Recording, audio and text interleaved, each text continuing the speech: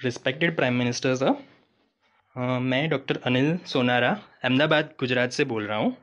Sir, मेरा एक सवाल है कि रिसेंटली केरला में हमने आपको सुना था कि डिफरेंट डिफरेंट प्लेसेस पे जो बुके एज अ गिफ्ट हम देते हैं, उसकी जगह काइंड ऑफ़ गुड बुक्स हमको देनी चाहिए एज अ मोमेंटो इस चीज़ का आपने शुरुआत गुजरात में अपने कार्यकाल में भी करवाया था, sir.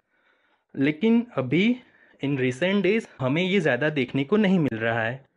So can we do something हम क्या इस चीज़ के बारे में कुछ कर नहीं सकते, जिससे देशव्यापी तौर पे इस चीज़ का इम्प्लीमेंटेशन हो सके सर पिछले दिनों मुझे एक बहुत ही मेरे प्रिय कार्यक्रम में जाने का अवसर मिला।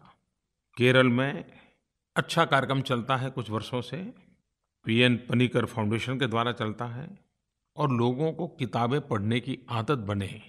लोग किताब पढ़ने की ओर जागरूक हो, इसलिए reading day, reading month celebration किया जाता है।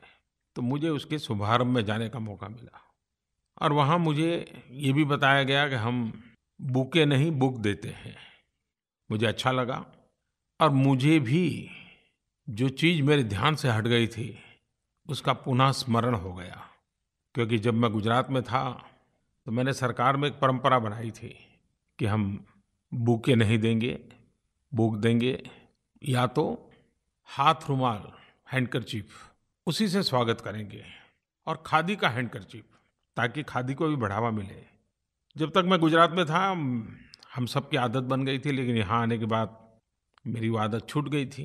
लेकिन केरल गया तो फिर से एक बार वो जागरूक हो गई। और मैंने तो अभी सरकार में फिर से नीचे सूचना देना भी शुरू कर दिया है। हम भी धीरे धीरे एक स्वभाव बना सकते हैं और बूके का आयुष बहुत कम होती है। एक बार हाथ में लिया, फिर छोड़ देते हैं। लेकिन अगर बुक देते हैं तो एक प्रकार से घर का हिस्सा बन जाता है, परिवार का हिस्सा बन जाता है। खादी का रुमाल दे करके भी स्वागत करते हैं तो कितने गरीब लोगों को मदद मिलती है। खर्चा भी कम हो जाता है और स्थायी रूप से उसका उपयोग भी होता है। और जब मैं ये बात कह रहा हूँ तो ऐसी चीज़ों का कितना ऐतिहासिक मूल्य होता है। मैं गत वर्ष जब यूके गया था तो लंदन में ब्रिटेन की क्वीन क्वीन एलिजाबेथ ने मुझे भोजन पे निमंत्रित किया था। एक मातृ सहज वातावरण था।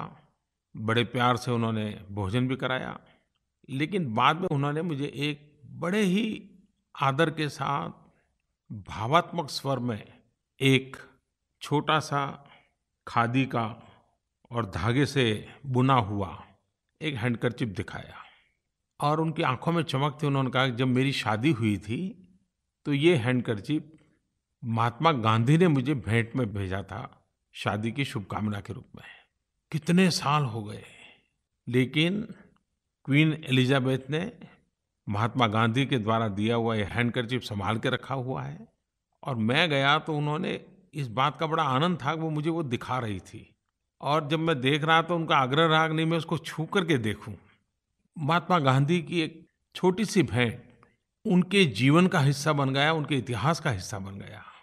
मुझे विश्वास है कि ये आदतें रातों रात नहीं बदलती हैं, और जब कभी ऐसी बात करते हैं तो आलोचना भी स्वीकार करना होता है। लेकिन उसके बावजूद भी ऐसी बातें करते रहनी चाहिए, प्रयास करने रहना चाहिए। अब मैं ये तो नहीं कह सकता हूँ कि मैं कहीं जाऊँगा और कोई भूखे लेके आ जाएगा तो उसको मना कर दूँगा, ऐसा तो नहीं कर पाऊँगा। लेकिन फिर भी आलोचना भी होगी, लेकिन बात करते रहेंगे तो धीरे धीरे सुधार भी होगा।